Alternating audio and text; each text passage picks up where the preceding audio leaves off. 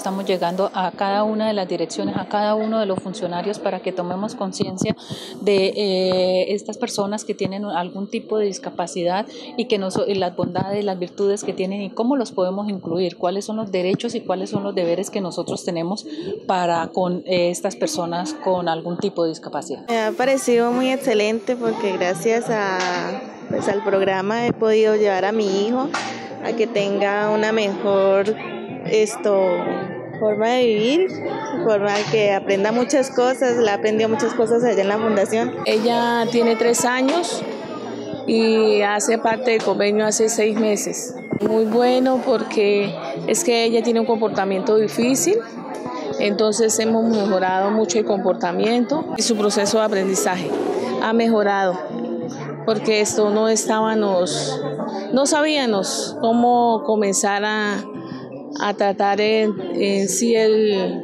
la condición de ella. Entonces eso nos ha ayudado a mejorar todo, toda, esa, toda esa situación, ¿no? Que va alrededor de, sus, de su condición. Invito a todos los bumangueses que estén residentes en Bucaramanga y su área metropolitana, eh, eh, Florida Blanca, Girón y Piedecuesta, que nos acompañen a hacer la conmemoración del Día de la Discapacidad de las Personas con Discapacidad, que será el día 10 de agosto. Empezamos a la una de la tarde en el Parque de los Niños hasta la plazoleta que queda ubicada en la Alcaldía de Bucaramanga.